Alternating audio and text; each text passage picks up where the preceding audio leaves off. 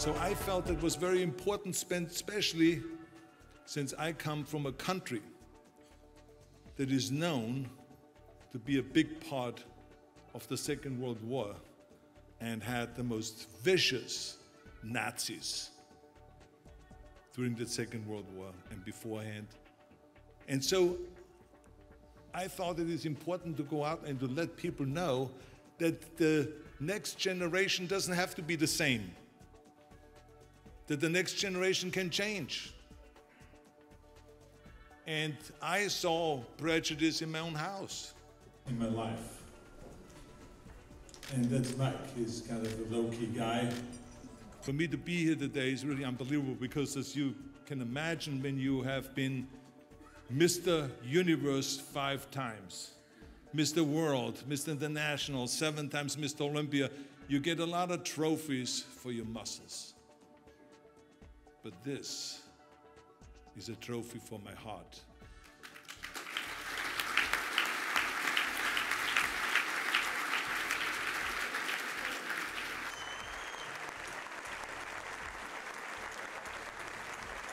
When everyone in Hollywood said, you will never be in the movies. You will never be a leading man. You have an accent. Everyone is scared when they hear your voice.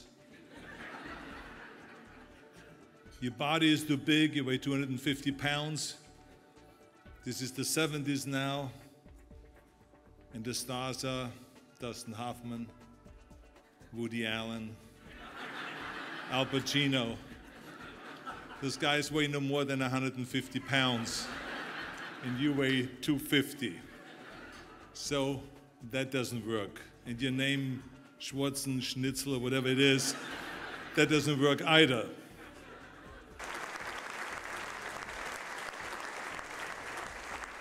What is important right now is because there's all this chatter out there and all this stuff on internet, all this negativity and hatred, that we have to speak out and confront that the more we speak out about that issue, the better it is. So every day we have to talk about that, we have to talk about it, and we have to talk about it over and over again. Because we cannot let them get away with those lies and with this hatred.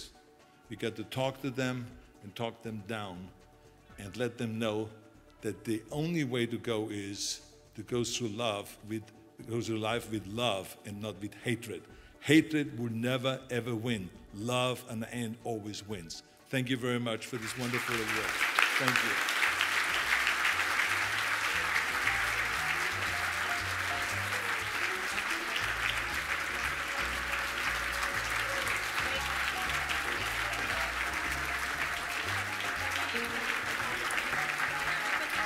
Over here. Looking great. Just a few more. Thank you. Right, right, and then right here.